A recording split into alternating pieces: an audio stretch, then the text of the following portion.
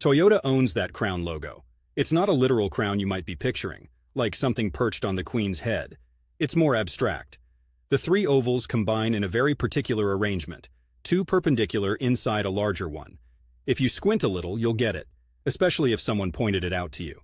The emblem has evolved over time, getting sleeker, just like their cars. It's like those times you look back at old pictures of yourself and think, is that really the haircut I was rocking? But we live and learn. Toyota has been trying to stay ahead of the curve, toying with electric cars and pushing the envelope in automotive tech. It's actually refreshing to see them not rest on their laurels, pun intended. People tend to knock their cars for being vanilla.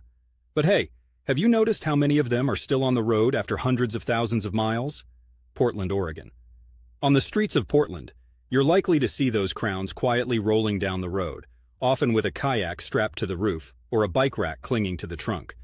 They blend naturally with the Pacific Northwest vibe, reliable, understated, and often green, both in color and eco-consciousness. Toyota's crown is a symbol of that dependability. Plus, you know, it has that royalty flair to it, a car fit for a king, or just the common commuter looking to make it through the rain and over the bridges.